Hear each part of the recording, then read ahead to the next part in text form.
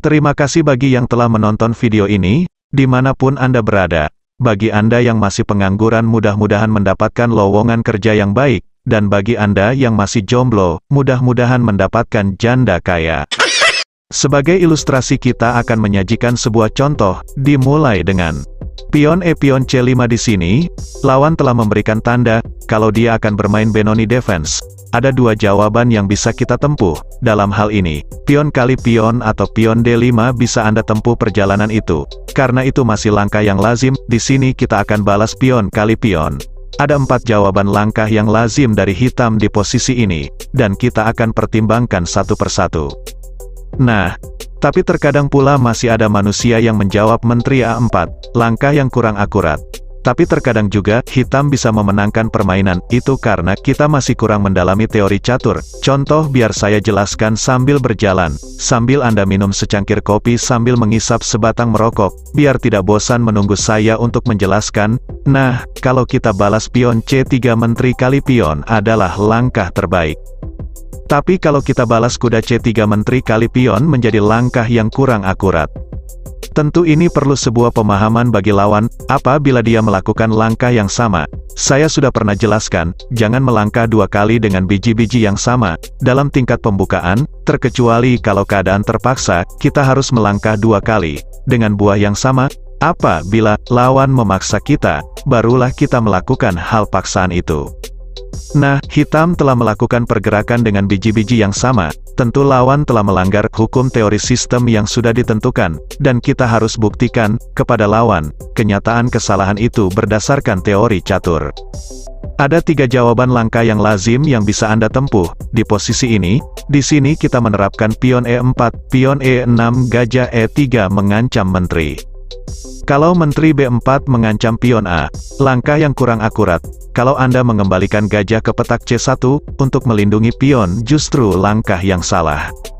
Kalau Anda balas benteng B1, juga langkah yang tidak mengizinkan, langkah yang benar-benar dipahami pion A3, mengancam menteri. Kalau menteri A5 menghindari ancaman pion langkah terbaik, nah, gimana kalau lawan tergiur dengan melakukan menteri kali pion, sekaligus mengancam kuda dan pion A, dua kali, justru kesalahan yang cukup serius. Perhatikan setiap melangkah, kalau tanda merah seperti ini, kesalahan yang sangat fatal, jangan panik atau gegabah. Harus dibalas kuda D2 memberi perlindungan dengan kuda, sehingga menteri tidak dapat melakukan pergerakan, contoh kalau gajah kali pion, benteng B1, menteri harus digiring ke neraka, karena tidak ada lagi, jalan bagi menteri untuk mengeluarkan dirinya dari penjara, kecuali melakukan pertukaran dengan benteng.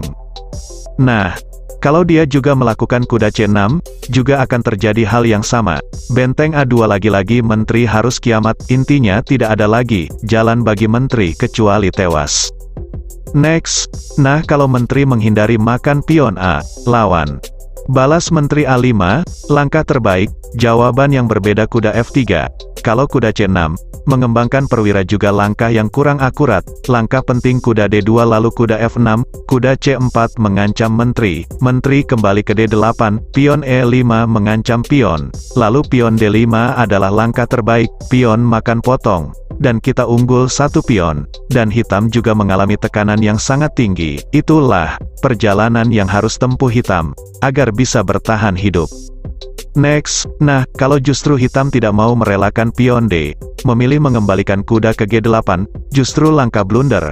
Mohon diperhatikan setiap melangkah, kalau tanda seru seperti ini, adalah langkah blunder. Kalau diartikan, dengan bahasa Indonesia langkah yang salah, berlanjut harus dibalas kuda G5.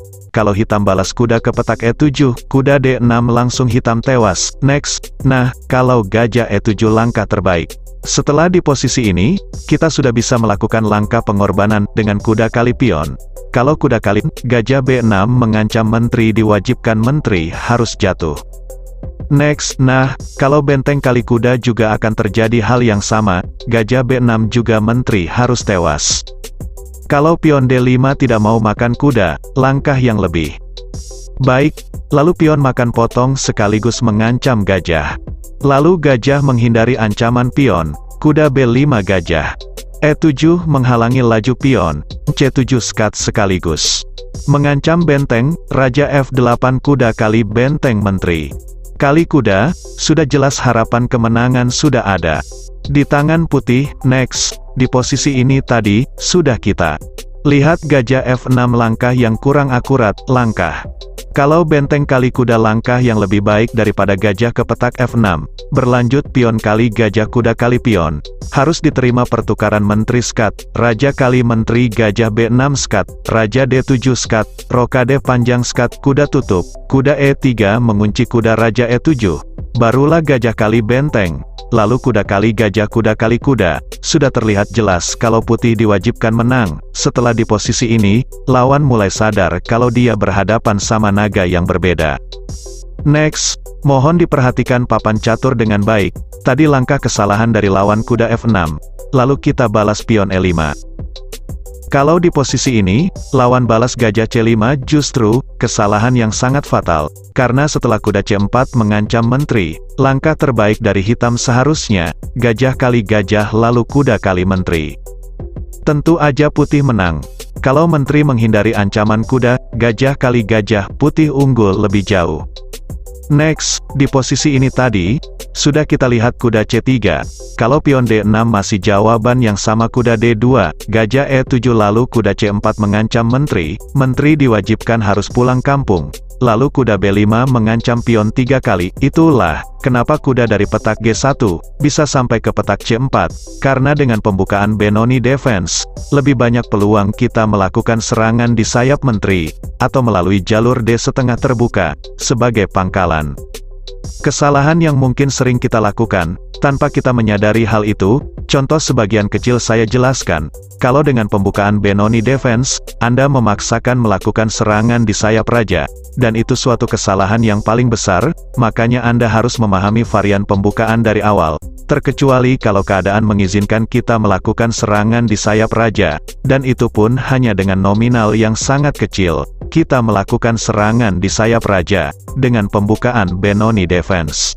Berlanjut pion D4 pion kali pion, lalu pion kali pion lalu gajah F4 ancaman kuda ke petak C7.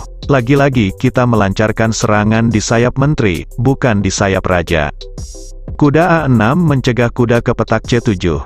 Harus dibalas kuda D6 skat, gajah kali kuda lalu kuda kali gajah skat, raja F8 menteri kali pion ancaman skat mat, menteri E7 berbalik skat dan sekaligus menghindari ancaman skat mat, gajah tutup kuda F6 mengancam menteri lalu menteri D4 menghindari ancaman kuda, dan hitam mengalami posisi yang cukup parah, dan kita juga unggul satu pion. Biar saya perjelaskan lagi, di mana kita harus melancarkan serangan dengan pembukaan Benoni Defense, mungkin ada sebagian manusia yang belum paham apa yang aku jelaskan tadi. Contoh ini mirip dengan pembukaan yang aku jelaskan barusan.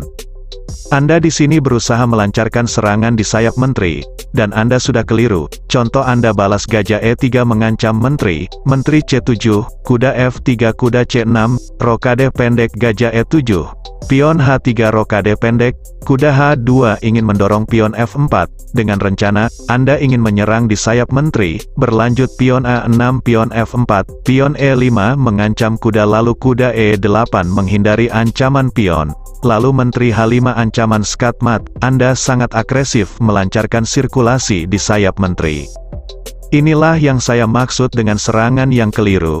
Sedangkan hitam akan melancarkan serangannya melalui sayap menteri, melalui jalur C setengah terbuka, dan juga di jalur B. Sedangkan Anda telah meninggalkan jalur penting, yaitu jalur D setengah terbuka, seharusnya di situ Anda harus bermain, bukan di sayap raja.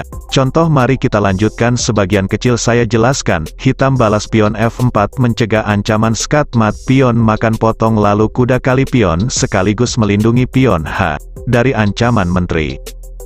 Dan rencana Anda gagal total itu dikarenakan Anda masih kurang mendalami teori catur, sedangkan hitam akan siap-siap melancarkan serangannya secara pelan-pelan di sayap menteri, dan bisa juga melalui diagonal panjang melewati petak terang, dan Anda akan semakin kewalahan, menghadapi serangan balik dari lawan, terkadang kita baru menyadari setelah keadaan sudah mulai sulit.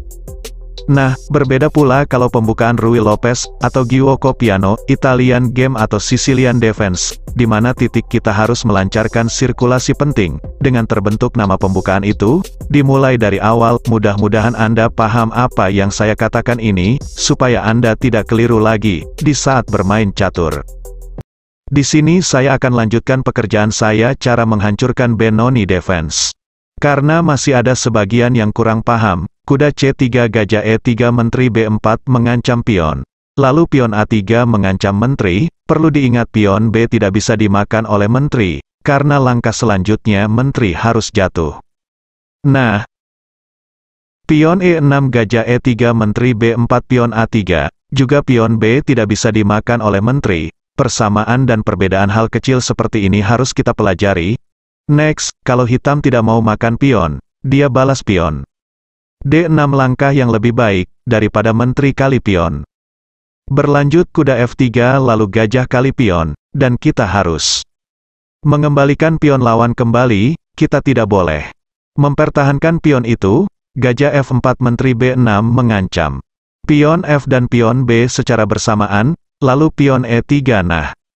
Perlu juga kita ingatkan, terkadang kita takut apabila pion B dimakan oleh menteri, terkadang kita mengalami kekalahan ketika kita melindungi pion B dengan pembukaan Benoni Defense. Kalau dalam hal ini, lawan juga tergiur dengan pion justru kesalahan yang sangat fatal. Contoh Menteri kali pion lalu kuda B5 ancaman forking raja dan benteng, kuda A6 mencegah kuda ke petak C7. Langkah penting gajah E5 mengancam menteri dan pion G. Menteri B4 skat pion tutup, menteri menghindar lalu gajah kali pion langkah selanjutnya benteng harus jatuh. Mari kita kembali selangkah ke belakang. Bisa saja lawan melakukan menteri ke petak G4 sekaligus melindungi pion G, dan menghindari ancaman pion, berlanjut pion H3 mengancam menteri lalu menteri G6 tetap melindungi pion G. Lalu pion G4 pion F6 mengusir gajah, gajah D6 sangat kuat mendominasi setrum dan menghalangi hitam melakukan rokadeh. Berlanjut kuda E7 gajah D3 mengancam menteri, menteri F7 gajah kali kuda, kalau hitam terburu-buru langsung melakukan kuda kali gajah, kuda D6 forking raja dan menteri. Langkah selanjutnya menteri harus jatuh, mari kita kembali selangkah ke belakang. Langkah yang lebih baik raja D8, kuda D6 menteri G8 gajah kali kuda, lalu pion kali kuda, dan kita unggul satu perwira, dan posisi hitam juga mengalami tekanan yang sangat tinggi. Next, di posisi ini tadi sudah kita lihat menteri F7, kalau hitam balas menteri H6, masih tetap jawaban yang sama. Gajah kali kuda lalu kuda kali gajah, dilanjutkan kuda C7 forking raja dan benteng. Langkah selanjutnya benteng harus jatuh. Next, di posisi ini gimana kalau hitam tidak mau makan? Pion B, telah mengetahui hal itu semua, contoh dia. Balas kuda C6 terlebih dahulu, jawaban yang berbeda. Kuda B5 ancaman forking raja dan benteng berlanjut. Raja F8 menghindari ancaman kuda ke petak C7. Langkah penting gajah C7 mengancam menteri. Menteri menghindar, harus dibalas terlebih dahulu pion C6 agar menteri tidak memiliki tempo untuk melakukan skat. Berlanjut kuda F6 mengembangkan perwira kuda D6 lagi-lagi mengancam menteri. Langkah terpaksa pion B5 lalu gajah kali pion. Langkah selanjutnya menteri harus jatuh, karena menteri telah terkunci dengan sendirinya. Dari sini, lawan mulai sadar kalau dia berhadapan sama ular naga berbisa. Tadi sudah kita lihat kuda C6, jawabannya kuda B5. Nah, kalau hitam balas pion A6 mencegah kuda ke petak. B5, harus dibalas kuda D2, kita tidak memperdulikan. Pion B, dari ancaman menteri, nah, kalau hitam juga. Mau menerima menteri kali pion, juga akan berdampak. Buruk bagi kesehatan lawan, Contoh kuda E4 mengancam. Gajah, lalu gajah B4 mengunci kuda, lagi-lagi langkah pengorbanan pion C3. Mengancam gajah, berlanjut gajah kali pion, berlanjut kuda kali gajah, menteri kali kuda benteng C1 mengancam menteri. Setelah menteri menghindar, benteng kali gajah skat, langkah terpaksa Raja E7, lagi-lagi langkah pengorbanan gajah D6 skat, Raja kali gajah, kuda C5 skat, Raja harus kembali ke petak E7, lalu Menteri D6, dan lawan harus digiring ke neraka, setelah berhadapan sama mafia neraka. Next, kalau hitam juga telah mengetahui semua hal itu, Apa rencana yang kita inginkan? Dia menjawab gajah A5 terlebih dahulu. Langkah penting benteng B1 Menteri kali pion. Benteng A1 Menteri B2 lalu benteng kali gajah. Berlanjut kuda F6, lalu kuda D6 skat, Raja E7 kuda C4 lagi-lagi mengancam menteri. Langkah terpaksa menteri kali pion, gajah D6 skat, Raja kembali, benteng A3 tidak ada lagi jalan bagi menteri terkecuali melakukan pertukaran menteri dan benteng, itulah akibat ketika lawan terlebih dahulu mengerakkan menteri dari awal, dan akibat perbuatannya lawan harus kehilangan menterinya. Ini salah satu sebuah pelajaran bagi kita, agar tidak melakukan kesalahan yang sama. Next, kalau hitam tidak mau melakukan menteri kali pion. Di posisi ini, dia balas kuda C6 harus dibalas kuda. C4, mengancam menteri dan sekaligus melindungi pion. B. Berlanjut menteri kembali ke kampung halamannya, kuda E4 mengancam gajah, kalau pion D5 berbalik mengancam kuda, gajah kali kuda pion kali kuda, harus diterima menteri kali menteri skat, raja kali menteri, rokadeh panjang skat, raja E7 gajah D6 skat, raja E8 kuda A4, kalau kuda F6, kuda B6 mengancam benteng, setelah benteng H2 menghindari ancaman kuda, kuda kali gajah, dan kita unggul satu perwira bersih dan posisi hitam, juga mengalami tekanan yang mungkin sedikit lebih sulit. Next, di posisi ini, tadi sudah kita lihat pion D5. Kalau lawan balas gajah E7 menghindari ancaman kuda. Lalu kuda D6 skat, dan kuda yang ada di petak D6. Sangat kuat di medan pertempuran, akan menjadi hambatan. Bagi hitam untuk mengembangkan perwira dia, contoh. Kuda F6 pion A4, pion G6 pion A5, Raja G7 Gaj. Sedangkan hitam sini, hanya mencari-cari jalan, untuk membebaskan diri dari tekanan, berlanjut pion H5 Rokadeh. Pendek, kuda H7 Menteri D3, gajah F6 gajah kali kuda, lalu pion kali gajah, pion E4 Menteri E7, gajah E3 lalu pion E5 rencana mencegah laju pion E, langkah penting pion F4, benteng B8, pion kali pion, kalau gajah kali pion benteng kali pion forking raja dan menteri, langkah selanjutnya, akan terjadi pertukaran menteri dan benteng. Next, kalau hitam tidak mau makan pion, memiliki raja G8, tentu aja pion kali gajah. Kalau kuda kali pion, gajah G5 langkah selanjutnya kuda harus jatuh. Pion C4 pion E5 Sicilia Defense. Kalau pion E4 Sicilian Smith Mora Gambit. Yang pertama, Mari kita lihat langkah-langkah yang lazim dari kedua belah pihak. Berlanjut pion kali pion menteri kali pion kuda C6 menyerang menteri. Kalau Anda balas menteri kembali ke petak D8, atau di petak E3, langkah yang kurang akurat. Harus dibalas menteri ke petak D3, berlanjut kuda C3. Gajah F5 mengembangkan perwira, gajah C5 pion E5 menyerang kuda. Kuda B4 juga menyerang menteri lalu menteri ke petak D2, kuda E5 sampai di langkah ke-8, kedua belah pihak sama-sama melakukan langkah-langkah yang lazim, berdasarkan teori sistem yang sudah ditentukan. Next, kalau di langkah kedua hitam balas pion E6 nah, kalau Anda balas pion kali pion langkah yang kurang akurat, mungkin perjalanan ini saya tidak jelaskan di video ini, karena akan memakan waktu yang begitu lama, Anda hanya perlu, ingat, kalau diawali dengan pembukaan Benoni Defense, yang ini pembukaan Smith Mora Gambit, harus bisa Anda bedakan hal penting ini, sehingga Anda tidak asal melangkah. Jangan Anda samakan ikan lele dengan ikan mujair tentu rasanya berbeda, dan ukurannya juga berbeda walaupun namanya sama-sama ikan, begitu juga dengan kunci bermain catur. Jawaban terbaik yang realistis pion D5, berlanjut pion D6 lalu pion C4, pion E5 lalu gajah E7, dan hitam harus sedikit mengalami kesulitan untuk perkembangan perwira. Nah, kalau hitam balas Menteri Ali Maskat, gajah tutup berbalik menyerang Menteri, Menteri menghindar ke petak B6 juga menyerang pion B. Kalau Anda balas Menteri C1, atau ke petak C2 melindungi pion B, langkah yang salah. Harus Anda balas kuda ke petak C3, mengizinkan Menteri makan pion.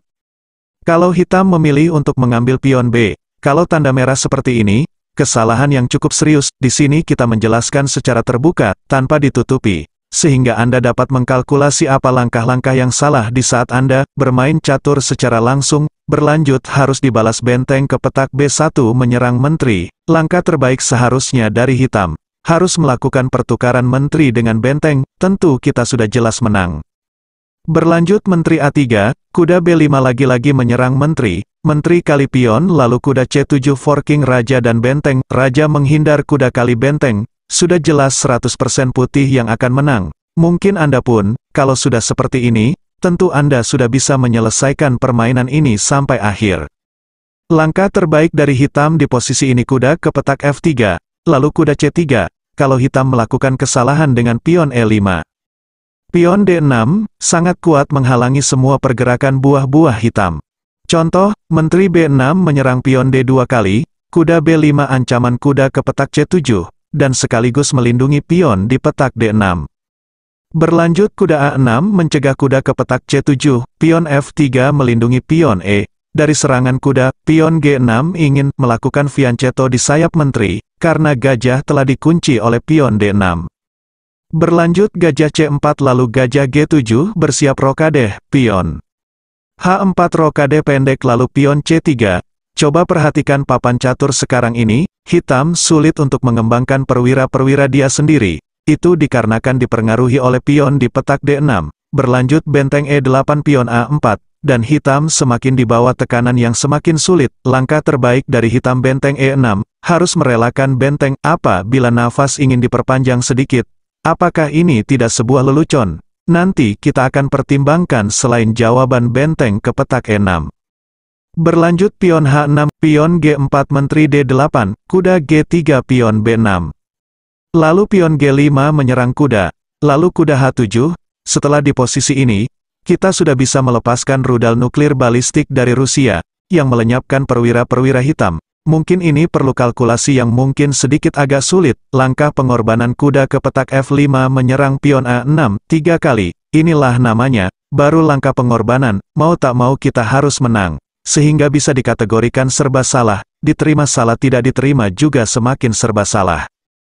Berlanjut pion kali kuda lalu pion kali pion menyerang benteng, langkah terbaik harus merelakan benteng tukar dengan pion di petak F5.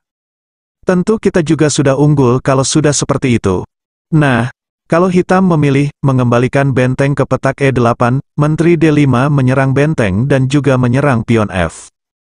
Setelah di posisi ini, tidak ada lagi langkah terbaik dari hitam, terkecuali semua langkah paksaan, dengan kuda ke B4 lalu pion makan kuda. Masih juga tetap menyerang benteng dan pion F. Nah, kalau benteng F8 melindungi pion F, menteri kali benteng juga sudah terlihat jelas kalau putih yang harus menang. Nah, kalau hitam balas benteng B8 menghindari ancaman menteri, tentu aja menteri kali pion skat, raja menghindar pion kali pion ancaman skatmat, benteng G8 menghindari ancaman skatmat, lalu benteng G1 menyerang gajah tiga kali. Saya yakin kalau Anda yang sedang menonton video ini, sudah paham untuk langkah selanjutnya, tanpa saya harus beritahukan. Next, di posisi ini tadi sudah kita lihat, benteng ke petak E8 langkah blunder, langkah terbaik jawaban dari hitam gajah G7, harus merelakan pertukaran pion dengan benteng. Nah, kalau sudah seperti ini, juga sudah terlihat jelas kalau putih yang harus menang. Mari kita kembali di langkah sebelumnya, di posisi ini tadi sudah kita lihat, benteng ke petak E6, adalah langkah terbaik, Mungkin ada yang merasa sedikit agak ganjil. Oke, biar saya jelaskan sambil berjalan. Gimana kalau hitam justru melakukan pion H5 mencegah laju pion H? Kuda H3 lalu kuda H7 kuda G5 menyerang pion F2 kali. Ada dua pilihan jawaban dari hitam kuda kali kuda, atau benteng F1 melindungi pion F. Yang pertama mari kita lihat benteng ke petak F1. Harus dibalas langkah pengorbanan kuda kali pion benteng kali kuda. Menteri D5 menyerang benteng dan benteng tidak dapat dibendung lagi. Langkah terpaksa Raja menghindar, lalu Menteri Kalipion ancaman skatmat. Menteri D8 menghindari ancaman skatmat, lalu Menteri Kalipion, juga sudah terlihat jelas kalau putih yang harus menang. Mari kita kembali di posisi ini, tadi sudah kita lihat benteng ke petak F1, langkah terbaik seharusnya dari putih harus menggeser benteng ke petak E6, akan terjadi hal yang sama, berlanjut kalau kuda kali kuda, gajah kali kuda. Begitu juga di posisi ini langkah terbaik dari hitam benteng ke petak E6, berlanjut kalau kuda B8 ingin meletakkan kuda di petak C6, gajah E7 lalu kuda C6. Menyerang gajah dua kali, Setelah di posisi ini, kita juga sudah bisa melakukan rudal balistik dari Amerika Serikat, sehingga membuat lawan harus mengakui kalau dia berhadapan sama manusia yang bertenaga nuklir rudal balistik. Langkah pengorbanan Gajah Kali Pionskat, kalau Raja Kali Gajah, Menteri D5 dan lawan harus menggali kuburnya sendiri. Silakan suruh lawan untuk mengeluarkan duit dari dompet kalau masih dilanjutkan. Nah, kalau lawan telah mengetahui hal itu, dengan membalas Raja ke petak H8, tentu aja Gajah Kali Benteng, dan kita unggul satu perwira, dan hitam juga mengalami tekanan yang sangat tinggi. Sekian dan terima kasih bagi yang telah menonton video ini sampai akhir. Semoga bermanfaat bagi yang memahami, mohon jangan lupa, berikan jempol Anda di bawah layar handphone Anda sendiri.